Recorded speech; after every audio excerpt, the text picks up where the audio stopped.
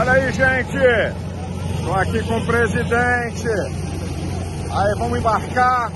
A Marinha está fazendo exercício, não é isso, presidente? É uma um real de tiro em alto mar. E vamos dar uma olhada. Né? Para mim é uma novidade também. Nunca tive essa oportunidade. E convidei alguns amigos a nos acompanhar nesse exercício. Experiência é bacana.